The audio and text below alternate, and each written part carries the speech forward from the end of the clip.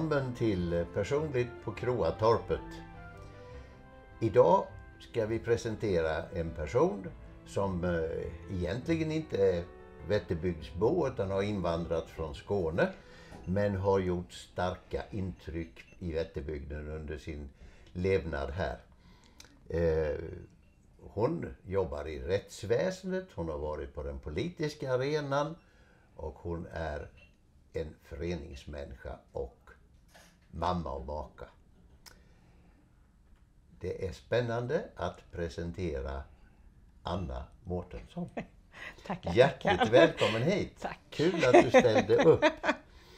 Eh, Jag vågade säga att du var ytlänning som vi säger Ja. vi smålänningar om skåningarna. Nej, det är ju på skämt och det är ganska roligt det där. Men du är skåning från början men hamnade i Jönköping av en tillfällighet eller? Ja, det var min mans jobb faktiskt. Och sen fick jag också jobb då som, Ja. som åklagare. Ja. Det brukar ju vara så att det är en i familjen som hittar någonting och det kan ju vara både mannen och kvinnan och Ja. i ditt fall så var det mannen som hittade. Vi är båda jurister och då är ju Jönköping ett väldigt bra ställe för här finns eh, många arbetstillfällen för Ja, jurister. här finns domstolar av alla slag Ja. och Domstolsverket. Ja, och Så det- myndigheter. Är ju och- verkligen en eh, juriststad. Märks det det. på något sätt? Eh, ja, alltså var, varje skrå håller sig lite för sig självt men det har funnits till och från lite olika nätverk och finns väl fortfarande något för, för kvinnliga jurister till exempel. Och så, Vi är rätt så väl medvetna om vad Ja. de heter Ja. Hilda och Ruben Ja, till exempel. precis, precis. Men det är en helt annan grej. Mm. Men jurister båda två, var, var jobbar din man? Han är på Jordbruksverket. Han är på Jordbruksverket. Ja. Ja, där har de ett antal jurister också. Det behövs ju överallt. Vi har ju krånglat till Mm. Ja. samhället så vi måste ha tolkar. Ja, men lite så är det faktiskt. Ja. Men eh, har du, etablerade du dig i Jönköping någon gång på 90-talets början? Ja, vi flyttade hit eh, 91. Ja, då har du varit med om glanstiden kan Ja. man säga. Många säger att Jönköping var så... Eh, ja, vi, du kan lyssna på Nella- Lennart Nilforsen när hans program kommer. Han beskrev ju Jönköpings utveckling från eh, 80-talet kanske och framåt. Men sen har ju Jönköping blommat upp. Tror du att vi kommer att bli Sveriges fjärde kommun? Ja, det tror jag. Det tror jag. Det finns en vision om att eh, vi ska ha 200 000 invånare Ja. snart. Men det tror jag. Jag är ju på åklagarkammaren nu och vi har ju så otroligt lätt att rekrytera jurister dit. Så att vi får ju rekrytera väldigt, väldigt många faktiskt. Vi har mycket lättare än många andra så jag tror absolut att det kommer bli många invånare här. och Jönköping är ett nav. Ja. Men det, man brukade säga om Nässjö att det bästa med Nässjö det var så, att det var så lätt att ta sig därifrån. Men med Jönköping kan man säga att det är väldigt lätt att ta sig både hit och Ja, vi valde faktiskt Jönköping av det skälet Mm. att det är just det här navet. Så att det, det är lika nära till, liksom, till Skåne, till Göteborg, till Stockholm och, nu till, Ka- och till Kalmar också där vi, har, där vi har barn. Ja, Ja. Ja, så det, på, på det viset är det väldigt positivt läge. Har du trivts bra här? ja mycket. Etablerad? Ja, det tycker jag. Vad känner vi Anna Mårtensson? De flesta av oss, vad, hur känner vi dig? Är det genom din bana i eh, det civila, civiltillståndet? Eller är det på något annat sätt? Ehm, Jag tror att från början så kände man mig nog som åklagare. För att jag har alltid haft en god relation till media och var liksom inte, på den tiden så var det inte så många av åklagarna som tyckte om att uttala sig i media. Det var inte så vanligt att, att domarna gjorde det heller. Så då stack jag ut lite redan då. Sen är det väl i politiken kanske Ja. då. Ja, Jag kanske ville komma dit. Ja. du ville det? Ja. Ja. ja, jag tror det. Vi har varit tillsammans i politiken lite Ja. kanske och sen eh, vi, kan- vi kan väl avslöja, de som inte redan visste det, att du tillhörde Liberalerna eller på den tiden Folkpartiet, eller hur? Det hette det Jajamensan. då. Och där har du en ganska fantastisk bana egentligen. Det måste du berätta lite om. Vad började du med? Ja, det, det var lite speciellt. Jag blev ju ordförande i eh, Liberalerna i Jönköping, eller Folkpartiet då nästan direkt. Och sen gick det ju inte ett år förrän jag blev ordförande i fullmäktige. Utan att ha lett ett enda politiskt sammanträde. Så I jag fick, Jönköping, ja. Ja. Kommunfullmäktige. så jag fick eh, fick läsa en bok och sen hade vi en fantastisk kommunsekreterare som fick, som fick hjälpa mig. Mm. Så att, eh, det var en resa. Det var en resa och det var det är fortfarande väldigt ärorikt för jag är ju den första kvinnan och hittills den enda kvinnan i vår kommun som har haft den posten. Mm. Så det är lite det är häftigt. Så mitt porträtt hänger ju där i, mm. i rådhuset. Som, bland alla farbröder? Ja, bland alla farbröder. Ja. Så det är jag väldigt, väldigt stolt över. Kände du dig som borgmästare då? För det är väl det man är när man är ehm, ordförande i fullmäktige? Ja, vi, inte, inte i Sverige tänker vi ju inte så, men utomlands mm. tänker man så. Mm. Och då blir, I och med att man är mayor då, ja. liksom, det engelska ordet, och då blir man bemött som, som borgmästare. borgmästare. Och i den rollen var vi faktiskt med familjen i Bangladesh och då, då var det nästan som en Eriksgata. Alltså det går, inte att, det går nästan inte att förklara liksom hur, hur, hur man högaktades för att man var då mayor. Liksom. Ja, det var, det var fantastiskt. Åkte du dit under den flaggen? Ja, det var precis när jag slutade mm. som, hade precis slutade som eh, fullmäktiges ordförande. Mm. Mm. Men du, hade, du åkte under den eh, flaggen så att säga, det var det, var det offentliga? Nej, det var inte ett var offentligt. Det, det, var, nej, ja, det, var, det kan man väl säga. Fast det blev ju, vi besökte ju bara organisationer som jobbar med välgörenhet. Mm. Så att, och jag var, då hade jag precis slutat som fullmäktiges ordförande men eftersom som jag så nyligen hade varit det mm. så blev jag behandlad som mm som mayor. Fast det var ju inte eh, inom en kommunal resa eller så, utan det var bara familjen som åkte. Fick du den finaste elefanten? För ni red väl elefanter ja, där? Nej, det gjorde vi faktiskt gjorde inte. Nej, vi, var, vi såg mycket av eh, vårt fokus var egentligen vad de här välgörenhetsorganisationerna arbetar med. Så vi var ju mm. ute på landsbygden och mm. såg ju de väldigt fattiga delar. Mm. Mm. Lärorikt då. Ja, så det var inte särskilt turistigt alls. Var det, är det ett resultat av den resan? Är det ett resultat av din, eh, din intressesfär? Det Med var ett resultat och... av eh, faktiskt mitt åklagararbete för mm. att dåvarande eh, ordföranden i en, en stor sån organisation i Bangladesh eh, var också väldigt intresserad av eh, våld mot kvinnor och drev de frågorna. Mm. Så det var i den egenskapen som hon bjöd ner mig och min familj eh, till Bangladesh egentligen. Så jag pratade lite om, om relationsvåld mm. faktiskt redan då. Men det har varit 2010. Lite, det har varit lite av din specialitet? Ja, mm. ja som åklagare också. Mm. Men eh, man väljer kanske inte sina mål som åklagare men man kan väl man har väl en inriktning? Man väljer inriktning, absolut. Mm. Då eh, nu är det ju ganska många år sedan, så 2006 var det som jag blev relationsvåldsspecialist och det var ju en tjänst man sökte. Mm. Så att man valde ju den inriktningen. Nu har de omorganiserat en del men det är fortfarande framförallt det jag arbetar med. Mm. Mm. Och det, har det inneburit att du har en, eh, någon inriktning åt feminism eller någonting? det, det, det, alltså det, är ganska intressant det här med, med eh, relationsvåld, för det har utvecklats precis som, som samhället har utvecklats. Jag är absolut feminist, mm. men relationsvåld, det syns ju mer och mer att det också är män som blir utsatta av kvinnor, mm. att det är föräldrar som blir utsatta av barn, av sina barn. Så att det har blivit en, och det är de här samkönade relationerna, även om vi inte ser så mycket av det ännu. Så det har hänt ganska mycket under de åren jag har arbetat med det. Mm. Så att, att vara feminist i det sammanhanget, det är inte nödvändigt så att säga, som utgångspunkt Nej. utan uh, du ser det som uh, kanske allt fler ser att uh, jag har sett det länge men det beror ju på min bakgrund och mitt jobb och så. Ja. Så, så är det ju viktigt att det kommer fram.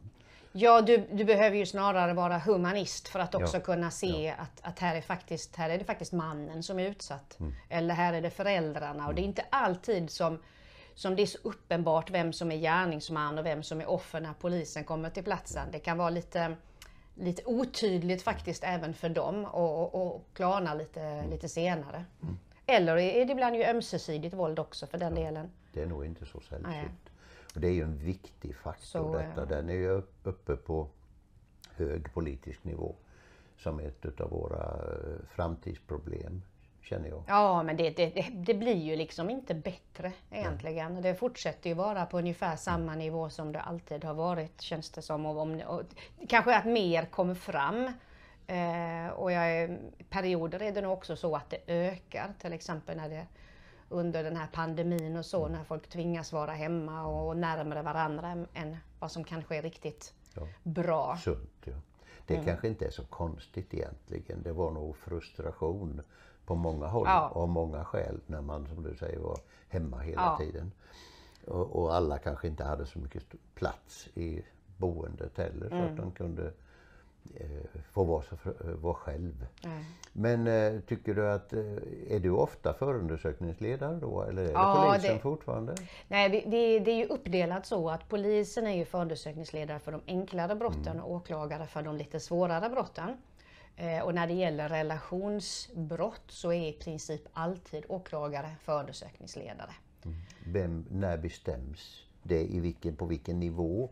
I förloppet bestäms det vem som ska vara förundersökningsledare? I, I princip direkt efter anmälan. Mm. Ni tittar tillsammans på det och sen... Nej, det polisen vet ju. Det finns eh, olika dokument och så som säger att det här ska polisen leda, det här ska åklagaren leda. Och sen kan det ibland bli så att, man, att det är lite otydligt då, att polisen skickar upp något och undrar. Eller så. Och sen kan ju åklagaren skicka tillbaka det och säga att ja, men det här kan ni själva vara förundersökningsledare för. Och, så. och visst händer det fortfarande att man, det dyker upp något ärende som man tänker men det här borde väl åklagaren ha lett. så att, men så att, men, men det, det är inte så vanligt utan oftast så är det ganska tydligt. Och där är ni ska ganska sams va? Oh ja, ni oh ja. samarbetar. Vi som eh, är uppfödda på amerikanska kriminalserier, vi, vi tror nog eh, att det är på ett annorlunda sätt än vad det är. Sverige ser inte ut som en amerikansk deckare. Nej, alltså vi, eh, och, och vi är ju kollegor egentligen. Eh, I början när man var åklagare kunde det vara väldigt konstigt för jag var förundersökningsledare och sen den som, de poliserna som jobbade med ärendet hade mycket längre erfarenhet och kom, mer kompetens än vad jag hade eh, för den typen av ärenden. Så att, och det är väldigt viktigt att, att man gör det som kollegor, att man hela tiden diskuterar.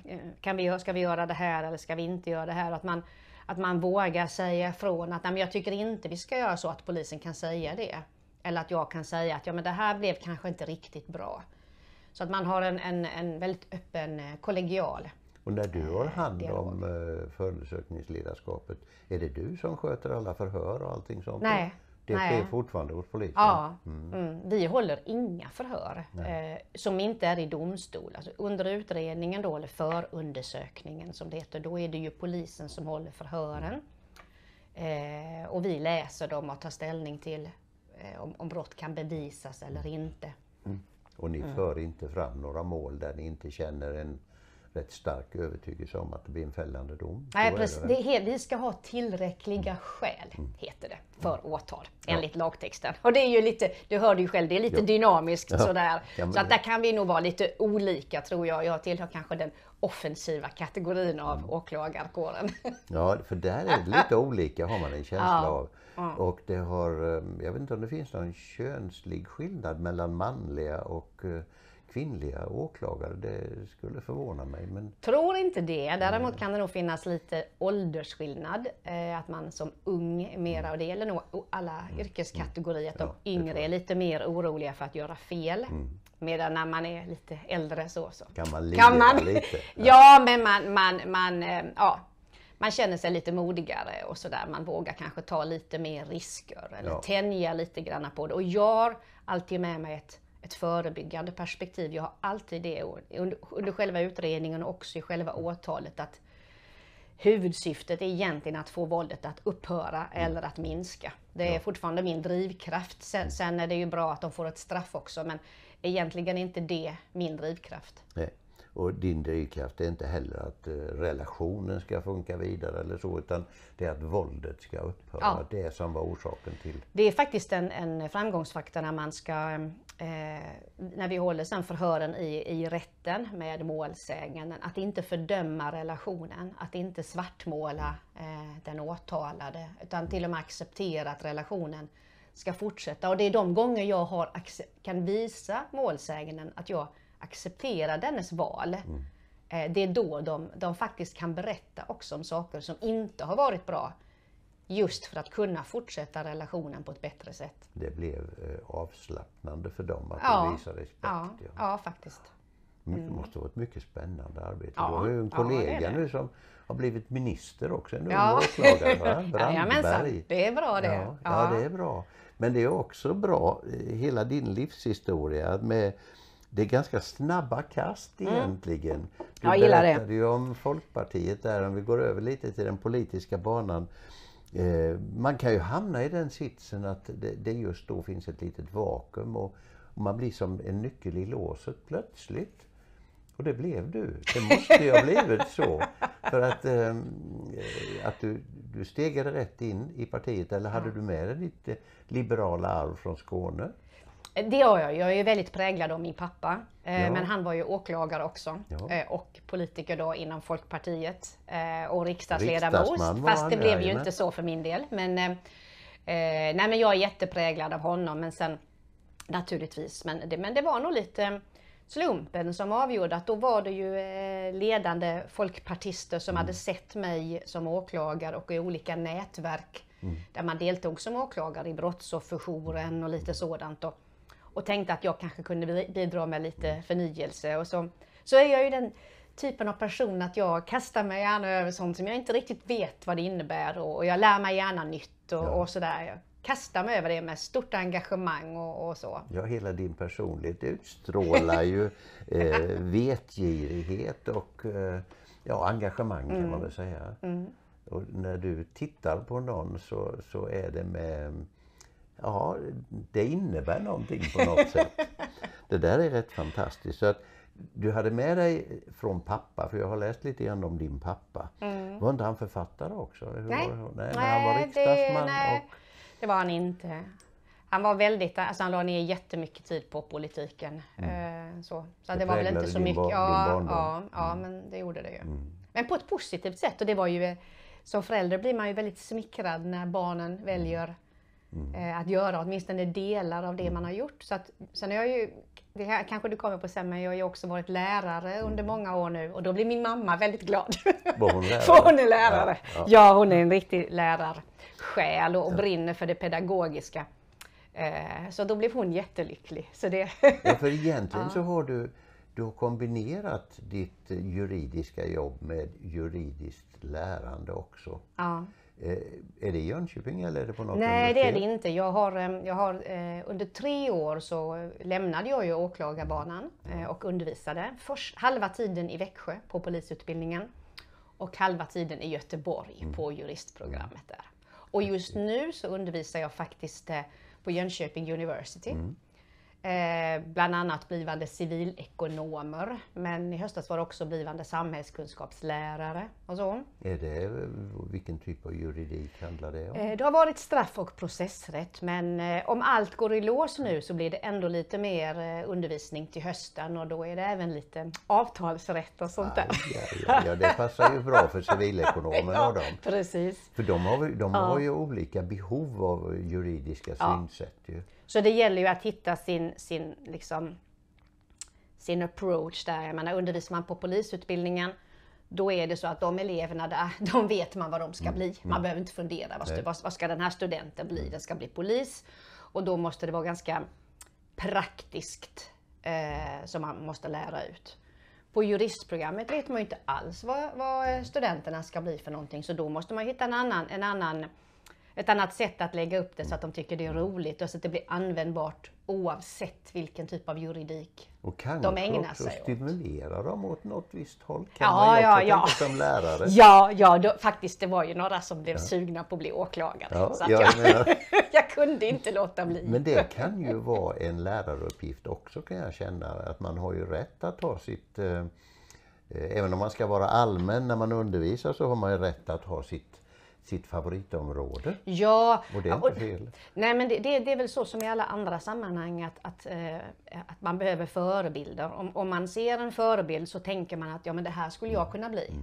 Liksom, det är därför liksom, många gånger så är det ju föräldrarna som visar barnen att det här kan man bli och det här kan man bli. Eller om det är vänners föräldrar liksom eller så. Eller lärare eller andra vuxna omkring en. Ser man någon och träffar någon som som har valt en viss karriär och liksom, så att det blir verkligt, då kan man ju fundera över det själv också.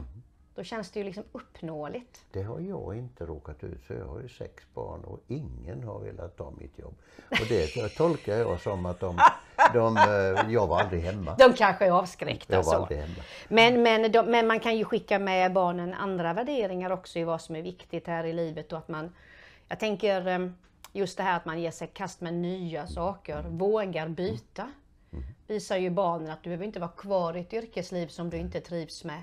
Eller vad det nu kan vara. Du kan göra nya saker, du kan lära dig nytt även när du börjar bli lite äldre och så. Ja, och våga kombinera, Ja. för det har ju du Ja, gjort. ja. Och det här med lär, det måste ju vara en fantastisk, i din livssituation, en fantastisk utveckling att gå in på lärarsidan då. Du får ju helt andra miljöer. Mm. Du, får, eh, du får vända på kuttingen lite eh, på många sätt liksom. Så det måste ju vara kul. Men du undervisar inte på juristprogrammet i Jönköping? Det finns inte här längre. Nej, det fanns, det? det fanns ju, fanns eh, det fanns va? ju, ja men det, det, det är ett antal år sedan det försvann tyvärr. Så nu får man gå in med i, i andra utbildningar då. Och då är det civilekonomer, eh, samhällskunskapslärare, ja det är väl egentligen Mm. Där tror jag framför allt som jag kommer att undervisa. Ja. Och då får, du, då får du utgå från Jönköping. Men annars så måste du åka till Göteborg. Ja, nu, nu, är, nu är jag inte kvar på Göteborg eller Växjö utan nu jobbar jag som åklagare. Mm. I princip heltid och sen har jag gjort lite timmar för Jönköping University. Mm. Eh, ja, men så förhoppningsvis blir det lite mer till hösten. Då. Men hur kom det sig? Du hade det här med dig eh, med pappan och kanske mamman var också liberal. Eh, Men, och deras engagemang i politiken. Eh, Gick du med i det, var du med i det politiska arbetet tidigt i Skåne innan du kom hit? Nej, jag hade väl varit, varit, varit passiv medlem. Min man hade varit eh, kassör, så Mm. jag bråkade med honom. Jag tyckte att han la ner alldeles för mycket tid på Folkpartiet. Så det blev, det blev ju ett familjeskämt sen, eh, att, det, Ja. att hans lilla kassörskap hade varit så mycket. Sen la jag ju ner oändligt mycket tid. Ja. Men, men det var inte, du kom inte hit med den? Nej, utan inte du alls. anslöt inte dig alls. här? Ja, ja, ja. Jag var inte alls aktiv utan jag blev aktiv när jag hamnade på listan, så kan man säga. Mm. Och det var, du anmälde ditt intresse och de gjorde en uh, genomlysning? Nej, de frågade mig. Jag, Innan jag hade anmält intresse så frågade de mig om jag var intresserad. Min mentor, bland annat eh, Torgil Danielsson, Ja, eh, var det ju som... som eh, Ja. En Ja. rekt lärare och rektor, ja. ja, Ja, just det. Med hatt. ja. Så att, eh, nej men det är, och han blev ju min politiska mentor kan man säga sen då. Ja.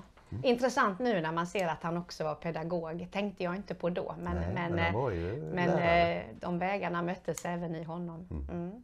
Ja, men sen är ju Jönköping en liberal, har ett liberalt arv med hamrinarna och Mm. eh, många framgångsrika liberala politiker i Jönköping. Men du hamnade direkt, menar du, på listan, kom in och blev direkt vald till kommunfullmäktiges ordförande? Ja. det var lite chockerande faktiskt. Eh, när man inte har lett ett politiskt sammanträde och eh, när då eh, valresultatet blev väldigt chockerande för att Peter Persson hamnade ju då i, i opposition så att det var en ganska konfliktfylld period. Och så kom jag in som, som novis då. Och nu, nu när allting är modernt med, med digitalt och så, men då så skulle ledamöterna räcka upp handen när de ville begära ordet. Så de var tvungna att lära sig namnen och jag hade ju inget gratis. Eh, och det var, ja, det, var, det, var, det var på en helt annan nivå. Ja. Vilka, vilka, år, vilka år var det du satt som ordförande? Det är 2006 till 2010. Sen var jag ju kommunalråd i, i fyra år efter ja, det. Ja, det var, du hade en lång eh, politisk bana i Jönköping. Ja, jag ihåg. 12 år blev det. Ja. Och både fullmäktiges ordförande och kommunalråd. Ja. Så du har ju haft ett inflytande på Jönköping. Jaha. Ja, Jaha. det har du faktiskt. Och känner du det? Ja, det, det, det gör jag. Ehm, Det, det var väldigt roliga år. Eh, Det var det. Jag säger ibland till min man så här, min, min sto, mitt storslagna liv är över. får, får man säga så? Men, men det var verkligen som fullmäktiges ordförande och man fick ju åka upp till Stockholm när, när kronprinsessan och de hade förlo, eh, Daniel hade förlovat sig. Och, och de kom ner hit, det var kungligt besök och då fick man åka till landshöv, gå in- äta mat hos landshövdingen. Och mycket bjudningar, mycket representation, mycket inflytande. Att, att skriva budget var ju, det, det fattar kanske inte alla, men det är ju en sån kick att få, få verkligen skriva ner vad vi ska avsätta pengar till och att skriva kommunprogrammet, vad man vill att den här kommunen ska, ska jobba med under fyra år. Och så gör tjänstemännen det. Ja. Jag tyckte det var en fantastisk period. Det är en maktdemonstration. ja, ja, men det, det, det är ju... Ja, men det var, det var fantastiskt. Men vilken roll hade Folkpartiet under de första åren när du satt som ordförande? Ingick de i regerande koalition Ja, då? ja det var vi. Mm, Och- Då var vi majoritet. Det var precis då det bytte från... eh, Så det blev ju fem partier då, Mm. 2006. Och så var vi det ett, en mandatperiod till. Eh, Och sen efter det så var jag ordförande i personalutskottet. Den sista, tredje mandatperioden. Och då var, ni, då var det också majoritet för den sidan? Va? Ni Eh, satt Ja, ja, det var det. Mm. Men då, då gjorde jag ju det.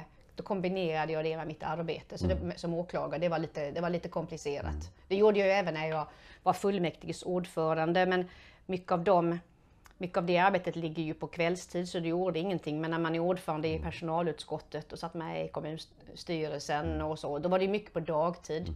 Det var ganska ansträngande att kombinera åklagarrollen Mm. med det. Men sett ur ett eh, folkperspektiv så är det ju ändå idealet. Att, Att man ska, ja, en fot i vardagen och verkligheten Ja. och en fot i politiken. Ja, kanske för andra då, men inte nödvändigtvis för Nej, den som nej, det berör, för för, det, är ganska, som- det är ganska För slitsamt. de som ja. ser på menar jag så, så det är ju ett vanligt klagomål att någon som blir Ja. heltidspolitiker förlorar fotfästet Men, men det gör man glömmer fort. Det är likadant när man är i universitet och så. Man, där, man, där man, då kan man ha tid att och, och fördjupa sig i det teoretiska. Folk, studenterna ställer liksom teoretiska frågor och man ska skriva kluriga tentafrågor och sådär. Och sen kommer man ut i verkligheten. Alltså man glömmer fort. Att där finns inte riktigt den tiden eller sitta där och, och djupknäcka allt för mycket. Utan du ska ju liksom beta av de olika ärendena och det kommer förhandlingar som du, inte, som du får gå på där du inte själv har väckt åtalet eller, eller så.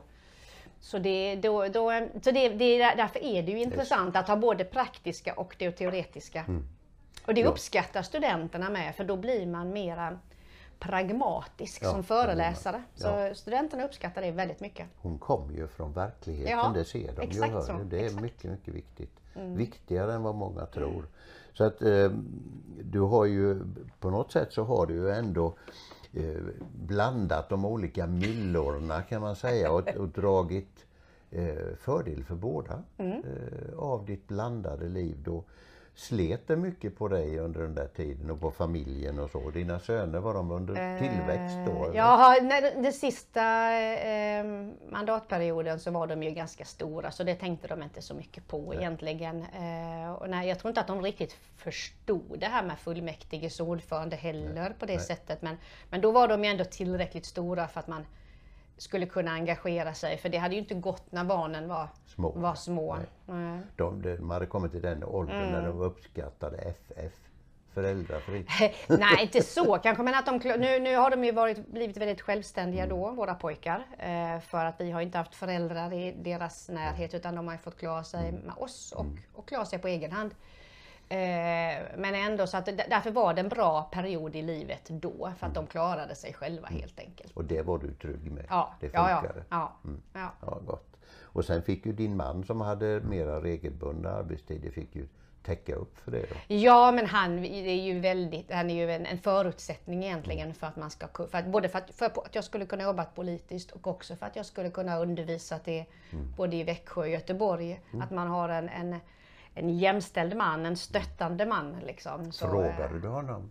Ja, Ja. absolut. Men han säger alltid ja nästan. Han säger ja, det ja. låter jättebra. Jaha. Så någon gång säger han, ja, då, då får man liksom, då, då, är, då är det illa.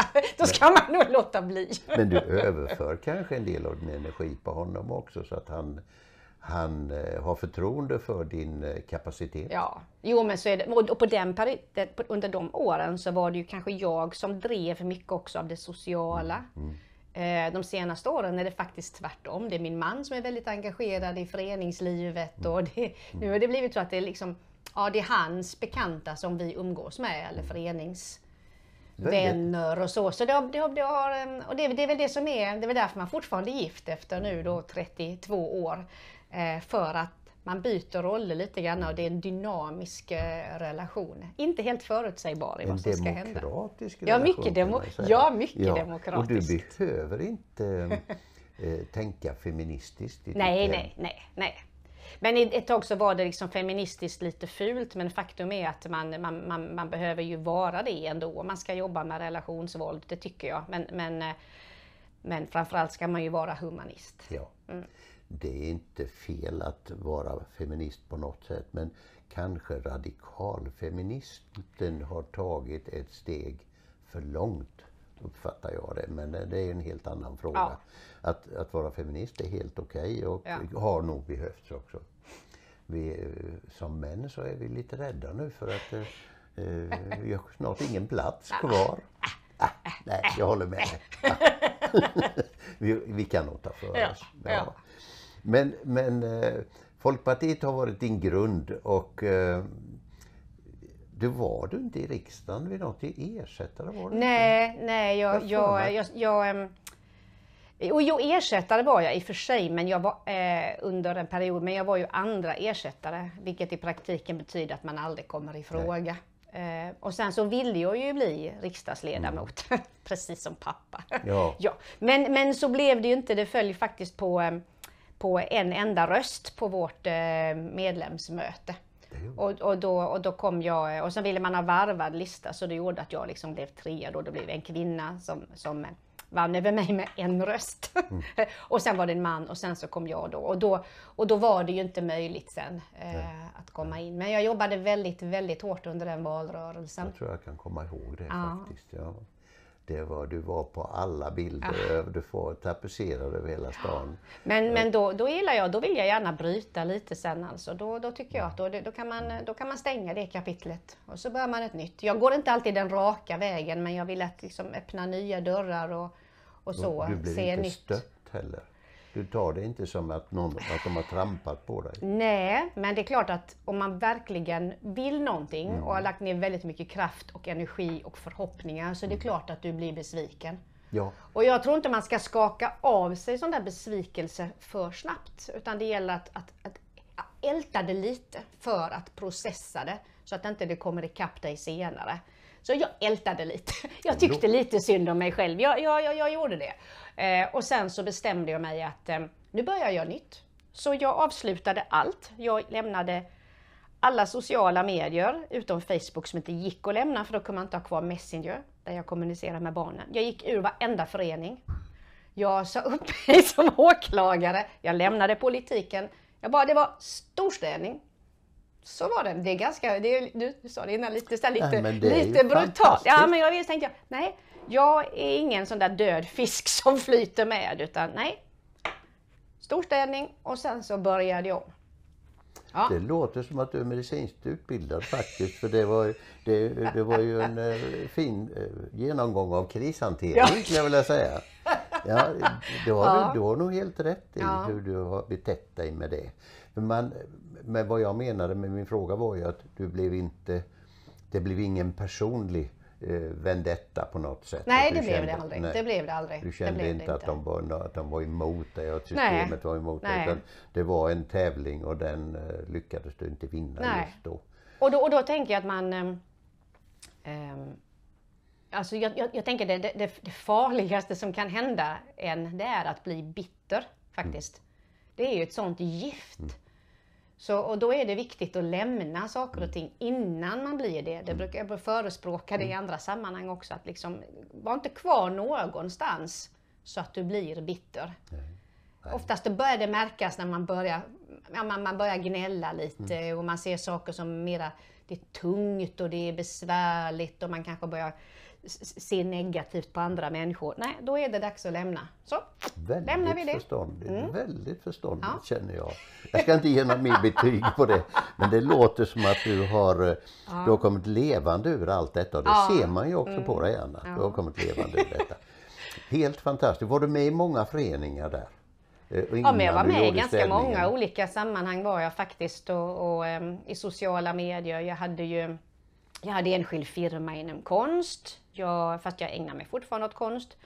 Eh, och jag var med, jag hade bloggade, jag hade massa sociala medier, jag var med i olika föreningar eh, och så. Så att det blev, det var en ganska, det var ett väldigt stort steg att lämna allt. Det var ganska ansträngande. Det var ansträngande bara att ta bort alla vänner på Facebook som egentligen bara var bekanta och koka ner det till kanske, jag tror att jag hade bara familj och släkt. Knappt ens det. Alltså det var riktigt, riktigt gjorde- storstädning. Du var, du var föregångare där tror jag. För Ja. det är många som tänker så idag. Ja, det, det- det, och jag hade lämnat eh, Facebook om det inte var så att man förlorade tillgången till Messenger. Och dessutom så var jag aktiv, jag startade upp ett annat nätverk här i Jönköping, ett kvinnligt nätverk till som eh, kopplat till Parbricol. Eh, och då eh, den sidan, alla de inlägg man hade gjort där man liksom byggde upp hela det nätverket, allt det skulle försvinna om man lämnade Facebook. Ja, det, de Så, binder så de binder upp en lite, så jag har pausat det lite, haft ett eh, inaktivt konto. Det är så man kan göra också för att avgifta sig lite där. Och, Ja. Så slipper man att sitta med det eh, varje dag och bli bunden Ja. en viss stund. Men din man är med på Fabrikal, det, det Ja, står- ja, precis. Det är Och väldigt aktiv. sällskap. Mm, Ja, ja. Det är ett illustigt sällskap. Men, men eh, eh, du har inte helt, du har kommit tillbaka. Du har, du har tagit eh, ett djupare tag i föreningslivet nu igen. Jag hade förmånen att bli tillfrågad om jag ville leda Röda Korsets årsmöte. Det var, gjorde jag förra året och så frågade de i år igen. Och sanna mina ord, jag blev väldigt förvånad. Men ändå inte när jag såg att det var du som var föreslagen som ordförande i den sammanslagna Röda Korskretsen Jönköping. Då. Var, du, över, var du klar över vad du tog på dig? Då? Nej, det brukar vara det bästa. Alltså man ska, man, alltså det, det är faktiskt, eh, om man vet, om man vet vad, man, vad man ger sig in i så eh, tackar man oftast nej. Eh, Det kan låta lite naivt så men, men det, det är faktiskt bättre att inte riktigt veta. Jag blev tillfrågad förra året också. Men då var jag ju i Göteborg så då, då, då, då gick det liksom inte. Och så nu kom frågan igen. Och då kände jag, jag började ha för lite att göra Mm. faktiskt. Jag märkte det. Alltså jag, hade, jag, ägnade för mycket Sa tid familjen åt telefon. Nej, ja, nej, nej, men jag tyckte det. Alltså jag tränade väldigt mycket, jag går mycket på gym och sådär. Och jag, ja, men, men jag hade alldeles för lite att göra. Så kände jag, ja men det här blir, det blir jättebra. Men så är jag alltid försiktig, jag lovar aldrig mer än jag kan hålla. Så jag sa, ett år kan jag lova, inte mer. Så är det okej, så, så ska jag göra allt jag kan för er under ett års tid. Och jag kan säga att det är mycket att göra, så det, det var nog tur att jag inte visste. Ja, ja, jag har en känsla av det för jag, jag fick en liten inblick i eh, det första året på årsmötet då Ja. när man hade varit igång med den här sammanslagningen. Ja. Och eh, sen är det ju en hel del anställda. Det Ja. är inte så lätta anställningsförhållanden heller. Och det är många människor att hålla nöjda i organisationen. Det är en stor förening, det är nästan det är tusen medlemmar. Ja. Så det är en väldigt stor eh, förening. Och det är, ja, jag, jag kan väl säga att jag jobbar ju med, med Röda Korset varje dag. Jag lägger ner jättemycket tid. Det är, men det är ju roligt och man Det- ser skillnad. Man måste delegera, det är viktigt. Ja, det gäller då att hitta, det är ju också en eh, talang att hitta eh, hur man ska delegera. Ja. Det, det gäller att dela ut uppgifterna till rätt personer. Och, det, och, det, och, det, och faktum är att um, det stärker ju oftast både en förening och en relation när man, om man får säga så, fördelar makten och ansvaret istället för att tänka att jag ska göra det själv. För det första är det ju ohållbart, för jag jobbar ju fortfarande heltid som åklagare. Eh, men det är också så att man, man, man eh, faktiskt att folk vill ha ansvar. Och, så. och då händer det också saker och ting även om inte man själv ligger bakom allt. Så det är så många roliga saker på gång eh, i Röda Korset. Och vi ska bland annat nu, nu i helgen ska jag försöka få till en ansökan om regionala medel för ett eh, second hand-projekt som ska rikta sig till unga. Så vi, har, vi hade ett jätteroligt eh, möte i måndags och planerade den ansökan. Jag uppfattade ju att det fanns väldigt många dedikerade människor i eh, vid de här årsmötena. Ja. Och eh, sen såg jag att det kanske var en helt kvinnlig styrelse. Det Ja, det blev så. Ja. Eh, varför, varför vet jag faktiskt inte, men jag har ju fått en fantastiskt bra styrelse. ja, ja, jag såg Det det. vi är nio kvinnor och det är, det är power ladies. Alltså de har varit med länge och de, och de jobbar på oavsett hälsa kan man säga. Eh, och de har lagt ner så många år och så mycket tid. Eh, så det är, det är riktigt häftigt att se. Det, jag, jag, jag vet ju sen politiken att det de här ideella organisationerna, att det är ju mycket liksom efter pensionen, det är många äldre och att man, det läggs ner mycket tid. Men, men att det var så mycket tid de la ner och att de hade varit aktiva i så många år, det, det, det var imponerande. Ja, det är imponerande. Ja, det är det. Man, man märkte det på årsmötet att de hade starka viljor och Ja, ja. eh, det var inte bara att tala om hur det skulle vara. Nej, det är, mycket- det inte. Och sen är det, Det är det ju en inte. internationell företeelse så Ja. det har du ju hela världen som, Precis. som spelplan egentligen. Vad hade, tog du tag i någon mer förening nu när du kom igång igen? Nej, Det är det som är det är ditt- bara den. Det är den ja, det är den som jag är helt lägger liksom all min, eh, nästan min fritid på, höll jag på säga, utom, ja, utom träning då. Så, Men det, även den har fått stryka lite på foten så att det är Röda Korset går till och med före där. Allt ska ju Ja. vara, ha sin plats men om du går in man har tittat i tidningen, eh, DN tror jag den sista tiden, så har det varit många inlägg om träning och hur träning ska läggas upp för att vara effektiv. Ja. Där har också kommit någon slags ny eh, energi. Jag vet inte om den är rätt eller fel. Ena dagen står det att du behöver bara träna 10 minuter om dagen så ger det jättebra effekt. Och nästa gång så står det att ja, det, nu ska det vara si eller så. Man vet inte vad som är rätt och fel Nej, längre. och då får man ju gå efter, efter sig själv. Alltså den här vardagsmotionen är ju så himla viktig, att kunna gå till och från jobbet. Det kan jag göra nu. Det kunde jag ju inte göra i, i Växjö eller Göteborg. Det, det gör Det ju väldigt stor skillnad.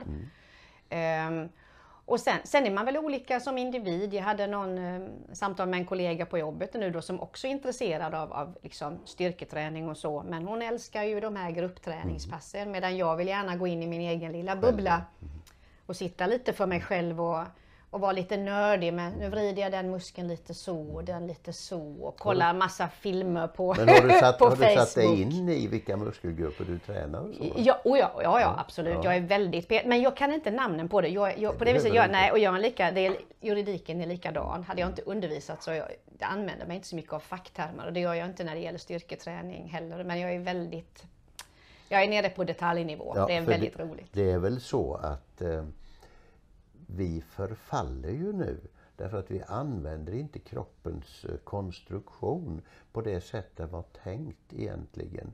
Att bygga muskler har ju varit en, en, eh, lite skämmigt. Men det behöver vi ju. Vi behöver Ja, ja. stabilisera Ja, eh, skelettet och då hänger ju rygg och mage ihop till exempel. Och så fort du ska göra någonting annat så är det ju armar och ben.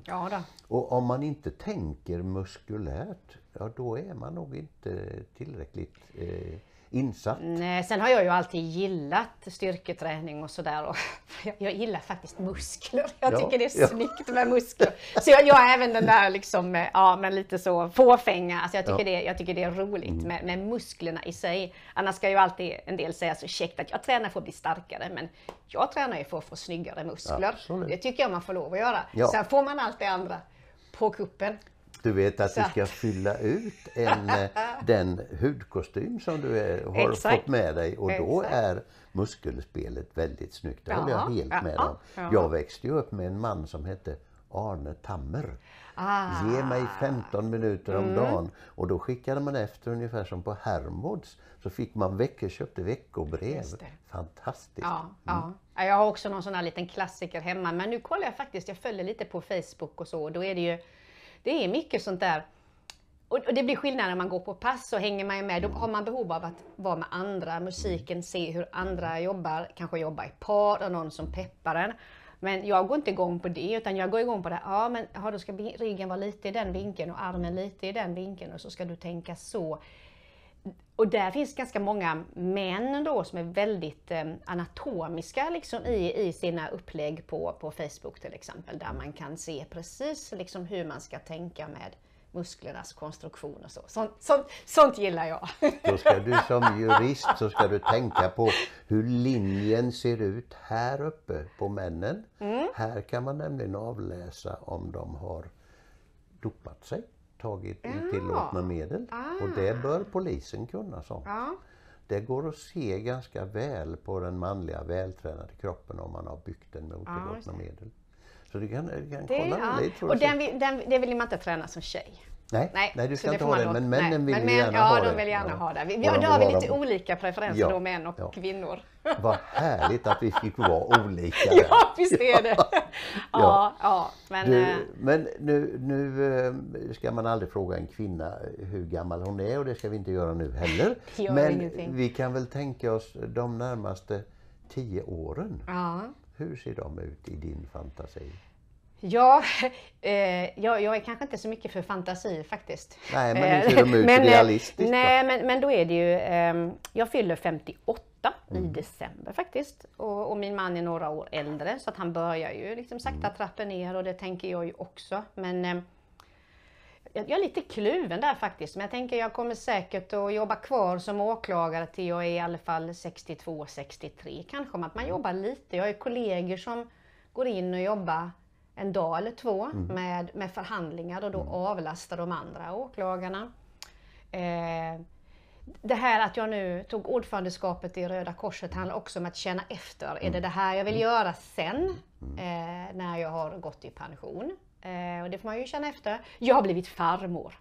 Där Ja. har du ju. Jag tänkte Jag blev farmor i mars. Ja, Mm. Hur till kändes det? Alicia. Ja, det kändes nästan overkligt. Hon så liten och, så, och föddes lite för tidigt med. Och så. Vi var där precis när hon föddes och sen var vi där nu i helgen. Mm. Eh, och, ja, och hålla henne var det bästa av allt faktiskt. Nu kommer det ett nytt skede i ditt Ja. liv.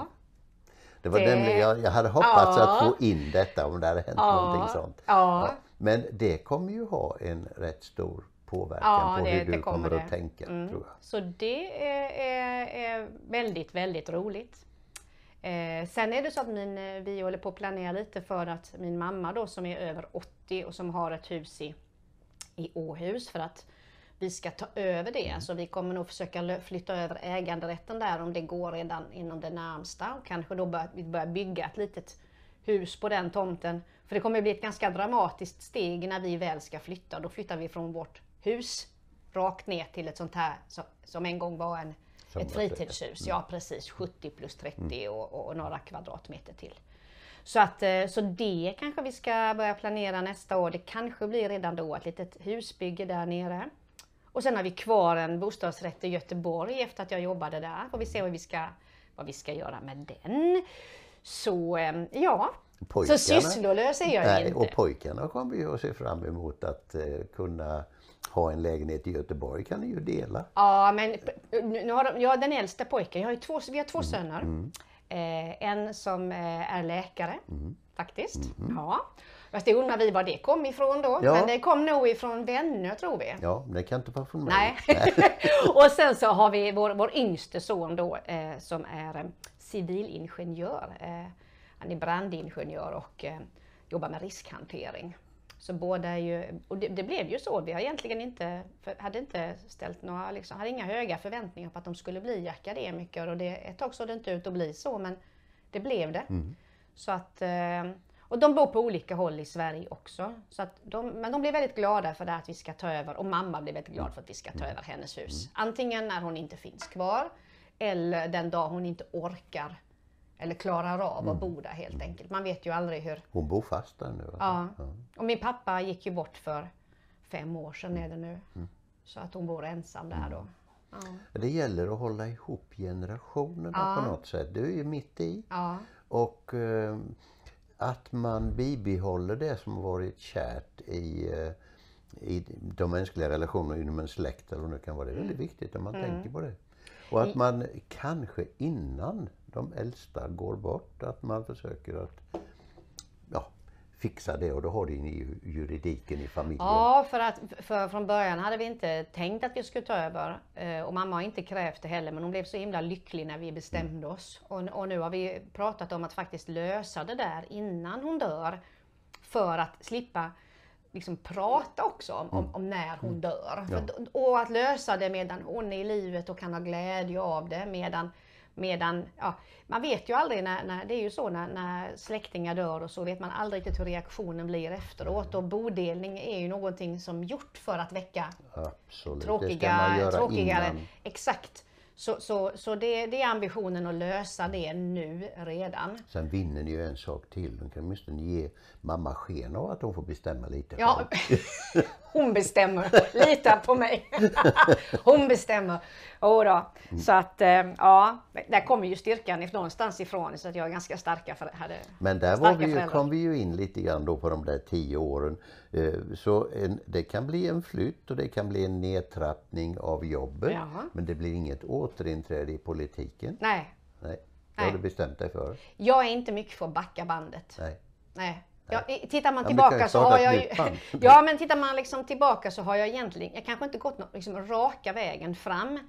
Jag tänker ibland att ja, men hade jag varit åklagare liksom hela tiden då kanske jag hade haft en annan position där. Jag kunde ju stannat i politiken så hade jag säkert, men, men jag är inte sån. Jag tröttnar. Jag vill ha nya saker. Jag vill lära mig nytt. Alltså det är, jag ska undervisa i saker, det fick jag göra på, både på eh, polisutbildningen och på juristprogrammet och nu på Jönköping University. Mm. Får jag undervisa i sånt som jag inte riktigt kan? Får jag lära mig det? Du har ju kanske touchat, touchat det lite grann under din egen utbildning men eh, dels förändras utbildningen, Ja. dels förändras man själv. Och det, i en yrkesutövning så använder ju man en bråkdel av det man Ja, lärde och det är sig. ju en sak att kunna. Det, det, det, det var ju ganska brutalt uppvaknande på polisutbildningen. Det är en sak att kunna Mm. saker och ting. En helt annan sak att förklara det för någon annan. Eh, det var, det är en, det är en, du, du, du, vände, du pratade lite om det innan, du, någonting om att man vände kuttingen eller så. Och det är verkligen så, ett helt annat perspektiv. Men det är så roligt med studenterna. Ja. Ja. Men, Ja, men- det är jätteroligt. Och har du polisutbildningen som är väldigt handfast Ja. så gäller det ju att få dem att förstå eh, djupet av juridiken. Att det är inte lösa tankar eller Mm. eh, att man gör ungefär som man vill och det finns några regler här någonstans. Utan får de förstå vad, vad, vad juridiken har för betydelse i deras dagliga handlande egentligen. Utmaningen där var väl kanske att det finns ju en risk att man är lite väl teoretisk i förhållande till deras praktiska behov. Det, det är faktiskt inte, en all, det är inte alldeles enkelt faktiskt. För sen, eh, och jag fick en sån respekt för poliserna under den utbildningen, alltså att de ska de ska kunna hantera så mycket juridik och det ska gå snabbt och de hinner inte läsa i någon bok eller fråga nästan någon utan det, det, det ska gå så fort. Eh, alltså det, det är, ja, jag fick väldigt stor respekt för poliserna. Sen när jag var på juristprogrammet då, då var jag ju mera eh, praktikern för de hade många som undervisade som var forskare och som hade långt, som knappt hade arbetat kanske med det som du var inne på också. Själva på det sättet. Eh, och det tyckte ju de juristerna var väldigt roligt där, när det kom någon från verkligheten. Och, och kunde säga att ja, men det där det, det tycker jag vi kan skippa för det händer nästan aldrig. Men det här, det händer hela tiden. Det här måste ni kunna. Det, det, Den ja, biten är ja. Mm. ju väldigt viktig hos en lärare. Så det, det, tror de, det märker du också att de uppskattar? Va? Ja, ja det, jag, jag, jag, blev, jag fick väldigt mycket uppskattning. Härligt. Ja. Härligt. Men du, då, du har en, eh, en positiv inställning och en positiv förhoppning inför de närmaste tio åren Ja, nu då. ja. För du ska ju bli mycket äldre än så. Men jag tänkte att man har kanske inte mer än en tioårshorisont i Nej. sin planering. Och så, vi- och, så, och, så, och så tänker jag att jag ska styrketräna mycket. Mm. Ja, jag vill bli en sån där, som pensionär ska jag, ska jag vara mycket på gymmet. Mm. ja, Ja, det är härligt. Du går på ett stort, ett riktigt gym med maskiner och ja, så? ja, då? det gör jag. Alltså, inget stort. Jag går på ett ganska basic gym för att det finns både lättillgängligt här och lättillgängligt Mm. i Göteborg vid den lägenheten. Eh, och då blir det ju så att är det nära, då blir det av. Blir det av, ja. Och det är ganska, där är inga, inga spännande maskiner och inte särskilt mycket folk i flashiga kläder heller. Nej. Eh, men där är vad som behövs. Ja, Ja, och det, du sa det ju själv. Den träning är ju bäst som blir av. exakt. Ja, det är gammal Exakt. klyscha. Ja, Ja, men, det, men gammal den är så sann. Den är så sann. Ja, Mm. men då är det ju lite tråkigt. Vi får inte se dig på scenen så mycket i Jönköping längre då. Mer än att eh, om du fastnar lite i, eh, i Röda Korset så kan det ju innebära någonting. Ja, men jag har väl varit ganska tydlig där, där med, till skillnad från politiken. Ska man, vara, ska man vara krass så är man, de flesta är i politiken för någon form av egen vinning. Alltså det, det, det går nog inte att komma ifrån. Man vill ha kanske makten eller man vill ha en, en, en post eller liksom inflytande eller så. I Röda Korset är det verkligen inte så.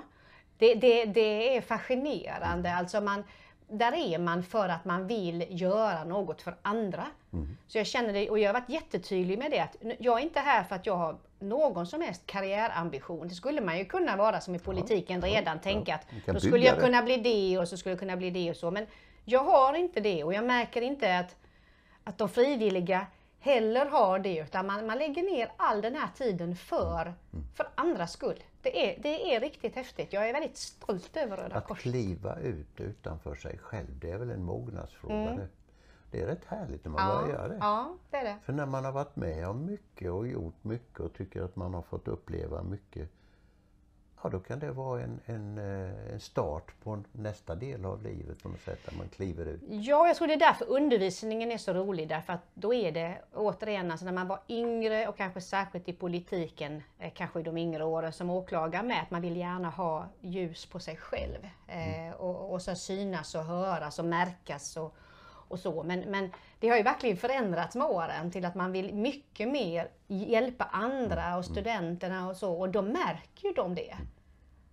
Att jag är här för din skull. Jag håller den här lektionen nu för er skull, för att ni ska få ut så mycket som möjligt av det här. Inte för att jag ska stå här och, och skina och vara rolig och trevlig. Liksom, utan, så det, det, har förändrat sig väldigt mycket under, under åren tycker jag. Men då skulle man ju egentligen våga säga att det är ju en mognad som var inträtt hos dig där då. För när man tänker sig, om man tänker sig som vanlig medborgare så skulle ju egentligen politiken vara det också. Det är ju för att hjälpa ja. landet och befolkningen. Eh, men det har, inte, det har inte blivit det. Det har gått en annan riktning. Du satte fingret på det. Jag kände nästan en rysning. Det är för att få ut någonting personligt. Ja, ja, det kan vara pengar, det kan vara makt, det kan vara ljuset, strålkastarljuset. Och alla är vi ju ändå lite, lite, lite, lite, bara lite narcissister. Vi mm. behöver ju det på något mm. sätt som en del av livet. Uh, och, och, i politiken så är det väldigt lätt då att man får mer av det. Ja. Man får ett behov nästan, ja. ett beroende. Ja. Du är väldigt stark som har uh, eh, insett alla de här stegen. Jag är imponerad. Men det, det, det, ja, det, det är en fantastisk utveckling och om man kommer till dina slutsatser i livet då gör man nog mest nytta tror jag. Men jag hoppas det, även om det storslagna livet då kanske är slut så kanske det, jag, jag måste hitta någon bra benämning på på den här delen av mitt liv. Jag har inte hittat den riktigt, eh, inte hittat den riktigt ännu. Men, eh, men, men, precis som du säger det här att, eh, att och det skiljer verkligen Röda Korset från politiken och, och kanske mm. andra den typen av välgörenhetsorganisationer också. Att man, att man inte har den där egna vinningen. Eh, man skryter liksom inte med att man är en del i styrelsen medan i politiken är det ju en viktig sak. Och jag, jag menar, jag vet ju, jag var i politiken också för att jag brann och ville göra gott. Mm. Och där min pappa var verkligen en förebild för det. Han var otroligt engagerad i det. Men det går liksom inte att komma ifrån att drivkraften där i viss mån är har blivit eh, mer den personliga och mer. vinningen. Ja, det mm. var kanske inte så mycket på din pappas tid. Nej, det var det inte. Det var annorlunda det var typer stor. av ja. Eh, politiker då. Mm. Vi kanske inte ska gå in och betygsätta. men, Nej, men, men, det har, men, men, det är sant. Det, ja, det, ja. det har blivit annorlunda mm. och jag tror ju att vi kommer att få se mer av dig och du kommer att få se att det här in, nya innehållet med småbebisarna, det kommer nog att uh, innebära en del. Ja. Jag vill, bli, jag vill bli en riktigt bra farmor. Mm. Nu är det ju lite avstånd och det gör ju det mer komplicerat men där har jag min ambition satt. Jag vill bli en, jag vill bli en riktigt bra farmor. Ja, det är väl den eh, det är det komplementet till eh, den eh, födande generationen som kan tillföra så mycket mm. egentligen. De har inte alltid tid, de har ett, ett stresspåslag Och eh, kommer då eh, farmor och farfar in och mormor och morfar som eh, stabila eh, människor som har lagt stressen bakom Mm. sig och som har livserfarenheten, själva varit med om allt det där, så innebär det en enorm kraft. Mm. Så de som har den, den, det stödet och den backupen, de ska vara glada och lyckliga. Mm. Där kommer du nog att se att du Det är, Alla dina det är behov. lyxigt att få barnbarn Ja. för det är ju inte alla, jag menar alla får ju inte barn som vill Nej, och alla får minsann inte barnbarn och vi, Nej. Mm. vi, blev lite överraskade att det var redan här och nu men det, Men de ja, man, får, man ska inte. vara tacksam. Men de frågade inte först. Nej, det gjorde de inte. nej. Men man ska vara tacksam för mer i livet än vad man, man, ja, man behöver. Det, det är väl kanske något för oss alla att jobba på, att vara mer tacksamma. Det, jag. tycker jag. det har tagit mig många år att inse det men det, det börjar att, bli mer och mer påtagligt när man blir äldre med för det känns i kroppen Ja. på något sätt. Så det är små saker man blir tacksam för Ja. med åren. Ja, ja. Så är det. Du Anna, nu ska du eh, tillbringa eftermiddagen med undervisning. ja. Och annars så ställde du upp på din eh, eh, komptid. ja Idag? precis. Idag Ja. är jag faktiskt kompledig Ja. efter att ha haft beredskapen. Ja, för det har ni också. Mm, Ni ja. har beredskap. Ja. ja, men det här var ett väldigt trevligt samtal. Jag är övertygad om att eh, de som tittar på detta, och det tror jag blir många, de kommer att säga ja, yes, det var Anna Mårtensson. Ja. De visste nog inte så mycket om dig tror jag, innan. De har sett dig i olika sammanhang men man vet inte mycket. Nu har du berättat jättebra om ditt liv och om vad du tycker och tänker. Och det är vi jättetacksamma för. Då tror jag att vi ska vända oss i vilken kamera. Vi ska tacka Anna för att hon tog, del av, tog Eh, en del av sin fritid att ställa upp på den här intervjun. Och det har varit ett mycket givande samtal. Tack för att ni tittade. Hej då!